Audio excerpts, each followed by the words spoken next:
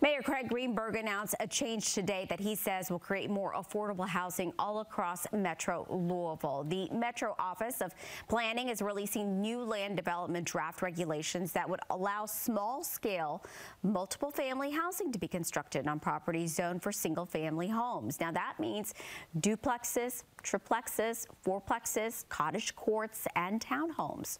Right now, 75% of land in Louisville is zoned for single-family. The mayor says this change will increase housing choices and opportunity without making property owners go through a very lengthy and very expensive rezoning process.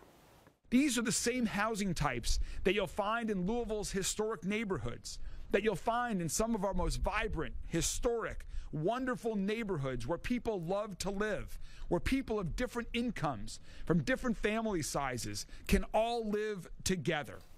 And there would be some regulations in place. The new housing must fit the character and size of its existing homes, meaning buildings couldn't be taller than two and a half